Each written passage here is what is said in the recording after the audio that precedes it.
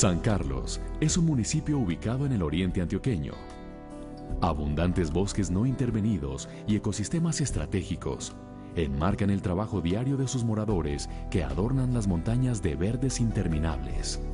Sus múltiples riquezas y su ubicación estratégica fueron las razones que dieron inicio a un capítulo de hechos violentos en una historia marcada por el desplazamiento, las pérdidas y la resistencia.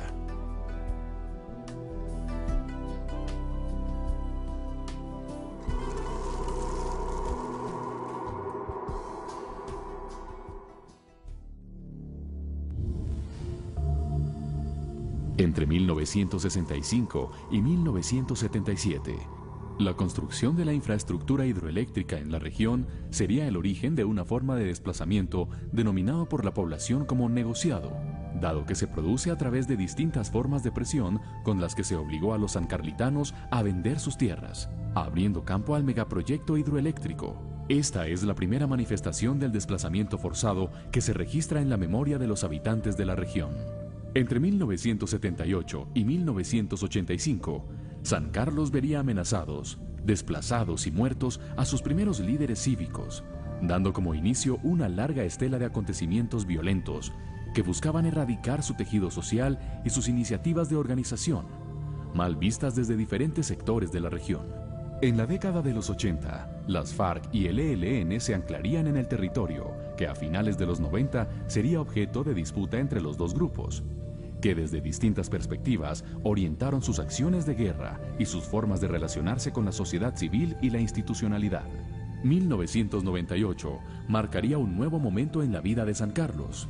El bloque metro de las Autodefensas Unidas de Colombia ingresaba al territorio desde el Magdalena Medio para erradicar a la guerrilla a sangre y fuego, amparados por el silencio y la omisión de las autoridades que terminaron convirtiendo a la población en sus objetivos militares.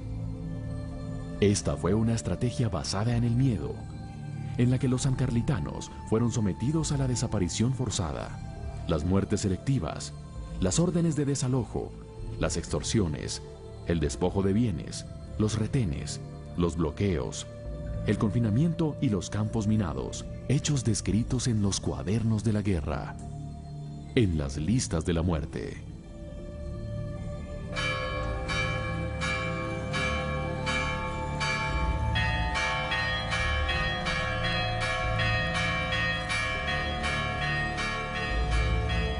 Esta hora ya no podía haber misa, porque estaba solo, solo, solo, completamente solo. Cuando de esas montañas, un grupo armado empezaban a disparar hacia acá, entonces todo el mundo despavorido se escondía. Era una orden de que nadie podía salir a la calle. Aquel que saliera a la calle era objetivo militar. ¿De quién? Del armado que estuviera en las calles. Mataban por sospecha.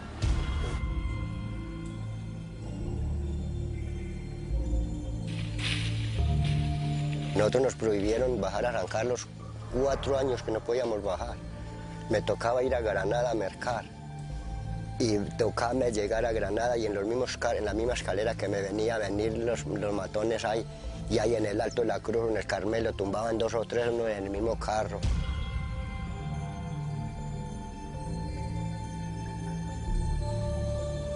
Ya cuando cesaron los disparos, yo ya salí y ahí fue donde lo aterrador, porque ya empezamos a ver la gran masacre, que eso sí es como lo peor de una película de terror.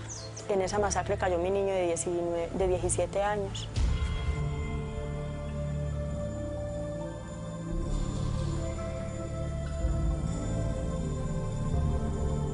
Eh, ya se viviera un miedo, un terror.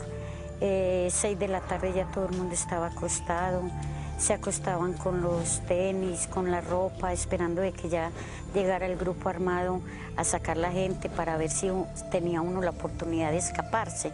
El ejército cogía a la gente campesina de las estancias de Panela, desde los lados de San Carlos, los traían caminando por los lados de Samaná, Peño Grande y se los entregaban aquí las autodefensas y por ahí a 20 o 30 minutos los acribillaban y los hacían pasar como guerrilleros.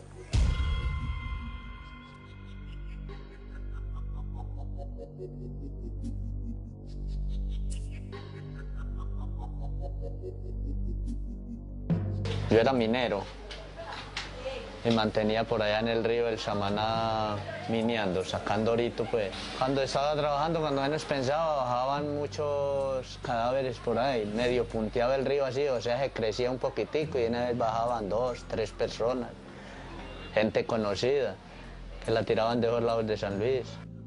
Nos tocaba elegir a un lado o al otro, morirnos o desaparecer. Poco a poco se fue cerrando este círculo y en cuestión de creo yo, dos años a lo máximo de estar los dos grupos en, contienda, ya hubo que dejar absolutamente solo el corregimiento y sus nueve veredas. Entre 1988 y 2010, en San Carlos, se perpetraron alrededor de 33 masacres, en las que se asesinaron aproximadamente 219 personas. Se registraron cerca de 156 desapariciones forzadas y 78 personas fueron víctimas de minas antipersonales. Se realizaron aproximadamente 126 asesinatos selectivos y cerca de 20.000 personas de las 25.840 que habitaban el municipio abandonaron su lugar de origen. 30 de las 74 veredas con las que cuenta el municipio fueron abandonadas en su totalidad y más de 20 lo fueron de manera parcial. El desplazamiento forzado se convirtió en la única alternativa para poder sobrevivir y no hacer parte de las muertes contabilizadas en las listas de la guerra.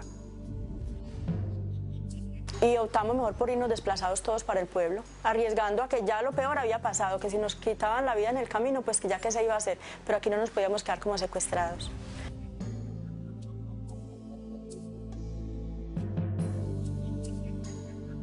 dije, no, pues yo ya que me quedo por acá, me voy para me voy a, salirme para el Fordán a trabajar por allá. Cuando eso a, masacres ahí en San Carlos, en ese Fordán, dije, no, yo no, eh, no me aguanto más por acá. Salí me vine ya para acá, para Medellín.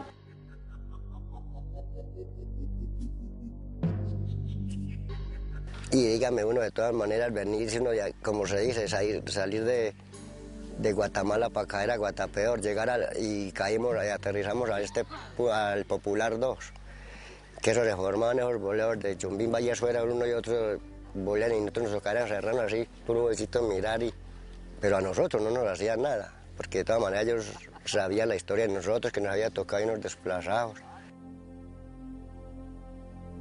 El desplazamiento no fue único ni exclusivo hacia las ciudades y poblaciones vecinas. En muchos casos, se llevó a cabo dentro del mismo casco urbano del municipio y en las veredas fueron muchas las estrategias para evitar a los actores armados.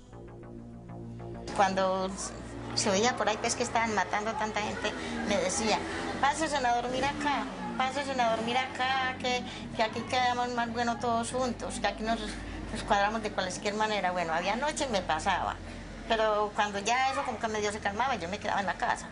Nosotros llegábamos y sabíamos que sentía, escuchábamos decir que el ejército venía o, los paramilitares venían por cualquier parte y nosotros teníamos un sitio de resguardo donde nos, acomodábamos. Ya últimamente pues en una, cañada teníamos un rancho de pajas grandísimo donde nosotros llegaba y, no estábamos ocho días. Llegábamos y llevábamos, cada vecino llevaba el que tenía pollitos, pues de alguna manera por el rastrojo iba y, traía de allá de, de, su casa. Muy triste saber que había dejado todo que, que había dejado la donde uno, donde uno pues prácticamente levantó los ríos y todo. Entonces, eso era muy triste para uno.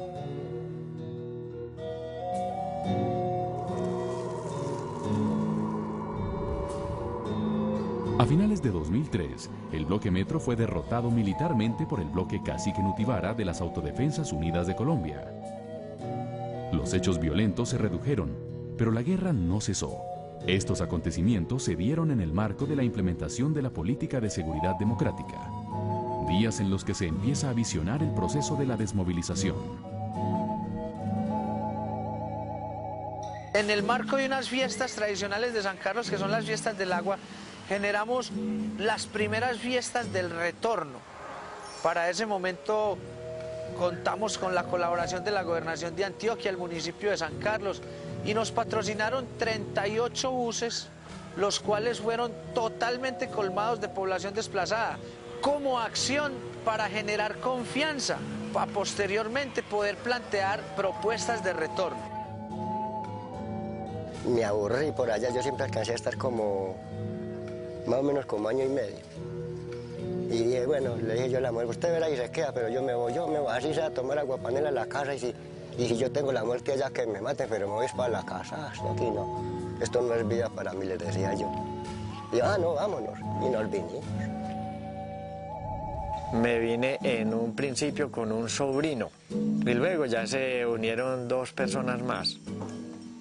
Nosotros en un principio éramos tres, después cinco, pero de los cinco murieron dos en el intento. Cuando ya llegué a Granada, que ya era parte de nosotros, una alegría muy grande. Uno volver a ver el origen de donde se fue es muy elegante, ¿no? Es que no, mejor dicho. Y empezamos a tocar puertas en instituciones, instituciones del orden nacional, del orden internacional, y logramos gestar lo que se llama la Alianza de Retorno Medellín-San Carlos. Eso es otro gran logro que viene encadenado al proceso que se inicia desde el TESODI. Y así hemos ido logrando ir subiendo en un retorno que no será, ay, por Dios, la séptima maravilla, pues, pero que al menos en, esa, en ese sentido de pertenencia, en esas ganas de nuestra gente de estar en su pedacito de tierra, es siquiera darle la mano. Y aunque el retorno de a pocos va arrojando resultados, el temor y los recuerdos de los días de guerra se han convertido en el principal argumento para no regresar, para habitar a lo lejos. Ahora porque ya como que la gente perdió el miedo y, están está volviendo pues la gente mucho, mucho. Pero yo sí no, yo sigo con ese mismo temor.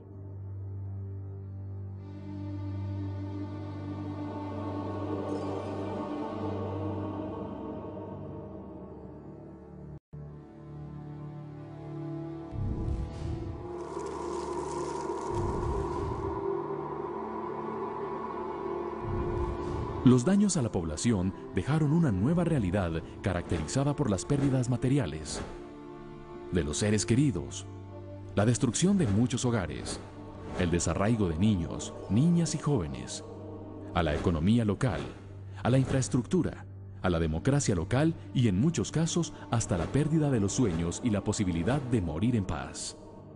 Para uno tener lo que se perdió, de muchos años de los abuelos, los padres de uno, mientras, en, la crianza de uno hasta la edad de uno, eso fue algo de, de un costo que es incalculable.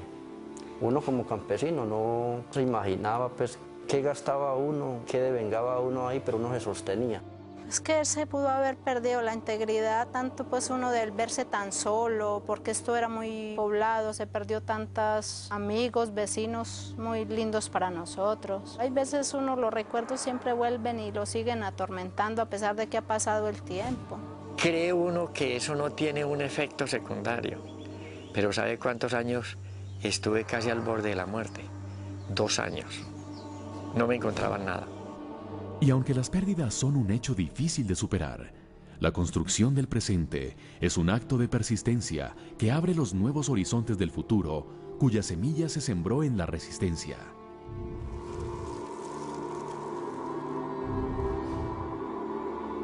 En la misma medida que unos se iban, otros valientes se quedaban, otros nos íbamos y no aguantábamos afuera y regresábamos, como en mi caso, yo estuve dos años desplazada y luego me volví, yo no, por Dios, aquí me quedo parte de mi familia, hay que ir a, intentar hacer algo, así sea acompañar al otro. Tengo derecho a llorar a mis muertos, pero tengo necesidad de levantarme mañana a ver qué hago por los que hoy están vivos. Y se fueron, se fueron dando unas actividades de resistencia civil. Nosotros permanecíamos en esa calle con un casino donde jugábamos naipe, tute, dominó, eh, remis y sobre todo bingo. Era simplemente un hecho de aquí estamos y aquí nos quedamos. Nosotros no obedecemos nada que no sea autoridad y el toque de queda no era declarado por la autoridad, sino impuesto por el miedo que ellos ejercían en la comunidad. Como semilla de resistencia sancarlitana, los profesores se mantuvieron en el municipio a pesar de los hostigamientos y de los largos caminos que tenían que andar para cumplir su tarea. La comunidad de miedo empezó a desplazarse. Nosotros no, pero los maestros permanecimos allá todo el tiempo. Más yo pienso que esa resistencia fue debido al hecho de, querer hacer patria en esos lugares donde estaba abandonado. Las comunidades donde el maestro se tuvo que venir se volvieron desérticas. Llegamos al, Jordán y estábamos todos en el parque. Cuando llegó un muchacho y, nos, y con una lista en mano, entonces nos nombraban a cada uno de, de los maestros que estábamos ahí y ustedes tienen que presentarse. Yo me fui y me senté con ese señor en una mesa en una casa. Le dije, si usted me va a matar, dígame por qué, porque es que yo tengo que saber por qué. Si yo no debía nada, ¿por qué no me borraba de la lista? Me dijo, bueno, entonces yo te voy a entregar esta hoja. La arrancó, en esa hoja estábamos, además de las maestras que estábamos ahí señaladas, había un, era una lista por detrás igual y yo la cogí, la rasgué y me la tragué. Muchas de las razones, hay muchas razones para no haberse ido, ¿cierto?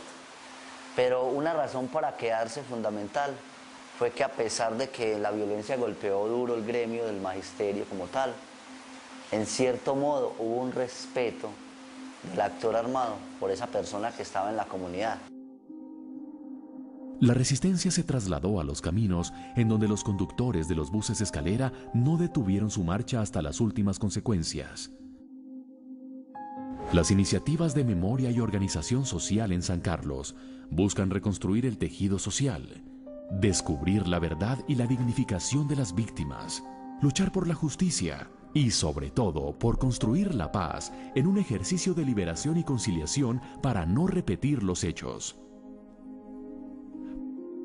Pastora Mira, frente a la desaparición forzada de su hija, emprendió su búsqueda a monto propio.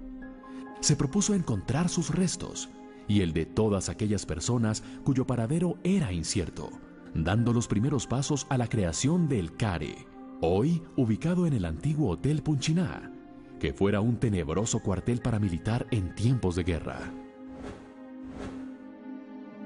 San Carlos hace todo un proceso, reparte mapas, invita a la gente, que todo aquel que sepa dónde hay una fosa, por favor nos la informe. En un anónimo, una llamada, se le sensibiliza frente a eso. El que esté en esa fosa que tú conoces puede que no sea ni tu hermano, ni tu hijo, ni tu esposo, pero sí puede ser el de tu comadre, el de tu vecina. Por favor, denúnciala. Empieza todo un proceso de decir, hombre, el problema no es solamente de víctimas y victimarios como de pronto lo hemos querido ver. El problema es de la guerra, el problema es que hay personas que no las ha ganado la guerra y hay que trabajar también con ellas. Y se construye como política pública un centro de acercamiento para la reconciliación y la reparación, cuya finalidad era encontrémonos todos en una misma mesa. ¿Qué hacemos con la ley del talión que tanto daño le ha hecho al país? Vamos a, seguir teniendo, queriendo vivir y levantar nuestros hijos, los que les quedan hijos. Pero en mi caso, mis nietos, en un país de ciegos y muecos. O van a dar el paso acá, desmovilizados desde el corazón. Acá, por ejemplo, están varias de las pinturas que se hacen en los talleres de elaboración de duelo, donde la gente tiene la posibilidad no solo de contar qué les pasó, sino también de colocarle otro tipo de, emociones, el tacto, a ese sentimiento y ponerlo en, público y en común para ir sanando su dolor. En este símbolo que denominamos Jardín de la Esperanza, la esperanza de esas familias de poder saber qué pasó con los suyos. Cada una tiene un nombre. Este es un ser humano desaparecido, que lo llevamos a una flor porque finalmente toda una familia está afectada por ello. Logramos que se exhume y se le entregue a la familia, se, se llevan a una libélula. Mira, porque es símbolo también de liberación, de liberación de la angustia, de, de estar perdido, porque esta es la libélula de mi hijo.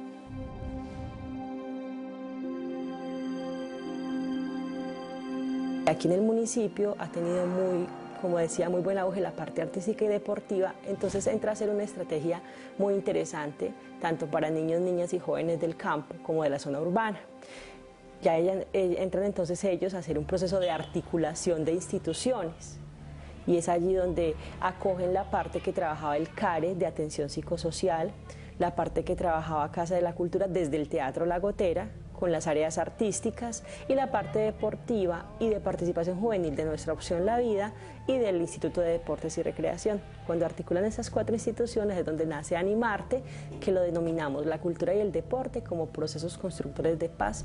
Nosotros iniciamos un proyecto que se llama Humanos Amigas, en el cual hicimos como una especie de cápsula donde protegimos a todos los jóvenes, donde nos dábamos cuenta que algún joven perteneciente a algún área artística era reclutado por algún grupo armado, íbamos por él y lo volvíamos a incluir dentro de un proceso dentro de la Casa de la Cultura. Muchos hacen parte de proyectos en estos momentos de la administración municipal, tienen un proyecto de vida, un núcleo familiar, muchas cosas bonitas y siempre vienen acá y siempre vienen a la Casa de la Cultura y dicen, ve, gracias a, este proyecto, gracias a esta acción, nosotros no vivimos la misma historia que de pronto otra gente que, sí se hizo parte de esos grupos armados y que en este momento de pronto no están.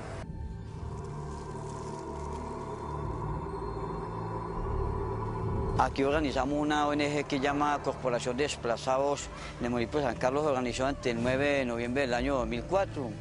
Eso tuvo un buen reconocimiento a nivel internacional y nacional. Eh, hubo buen desarrollo para el pueblo, por esta pues, al principio, para curar algunas partes.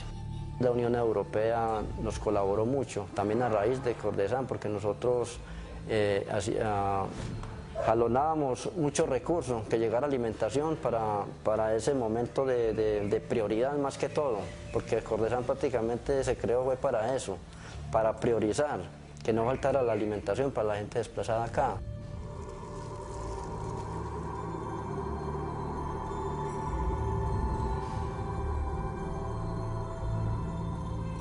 Empezamos a encontrar... Eh, una gran cantidad de población desplazada en San Carlos que residía ya en la ciudad de Medellín y de hecho eh, también estaba ubicada en todos los sitios y los barrios periféricos. En ese momento recibimos eh, una invitación por parte de la Gobernación de Antioquia, la Secretaría de Derechos Humanos, donde invita a la colonia de San Carlos a desarrollar una acción humanitaria, digámoslo así, en pro de las familias desplazadas o de los paisanos que estaban desplazados en Medellín. Para el año 2000, 2004 elaboramos una propuesta y una metodología que fue piloto y sigue siendo piloto en Colombia, que es el tema de la organización de la población desplazada en áreas metropolitanas. Nos dimos a la tarea de que la población o nuestros paisanos declararan su desplazamiento, conseguir becas en las instituciones educativas que en el centro de Medellín. Graduamos aproximadamente en los tres primeros años entre 150 o 200 bachilleres desplazados que eran campesinos. Los frentes de trabajo en San Carlos para posibilitar no solo el retorno, sino para crear un marco de permanencia, demuestran que a pesar que el objetivo de la guerra sucia fue acabar con el tejido social, no se logró. El liderazgo social que siempre ha destacado a San Carlos propende porque sus programas, sus celebraciones e iniciativas, sus monumentos, la labor de desenterrar minas del campo sean actos donde se siembre la vida y desaparezcan las balas. Se inicia en el 2008 un, desminado con el apoyo de la OEA y luego viene ya el municipio de Medellín a aportarle a, para el tema del retorno también el tema de seguridad con desminado y hace un apoyo considerado para poder desminar ese territorio donde nuestra población estaba yendo.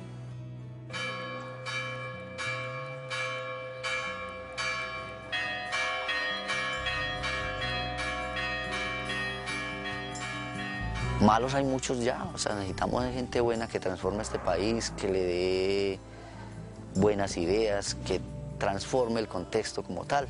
La primera invitación es hagamos el ejercicio de buscar enterrar la ley del talión, por eso estamos colocando ese abono a las víctimas. No más muertos, no más desapariciones, no más minas, no más guerra, no más balas irresponsables que estén cegando vidas de los que nada tienen que ver en el conflicto. No más indiferencia. Es que yo creo que el día que en Colombia todos y cada uno nos levantemos pensando, al menos por hoy no seré indiferente con lo que pasa con ese ser humano que está al frente mío y la forma como le trasladamos la historia a las nuevas generaciones cuenta mucho. Como colombiana, sí soy responsable y todos somos responsables de lo que acá para adelante pase, de lo que le estemos entregando a nuestros niños y jóvenes, porque ahí está el futuro de Colombia, es el presente y será el futuro de Colombia. Entonces sí somos responsables de que esto se repita o no se repita dependiendo con qué afecto estamos levantando a los niños independientemente de si es mi familia, tiene grado de consanguinidad conmigo, de afinidad o no.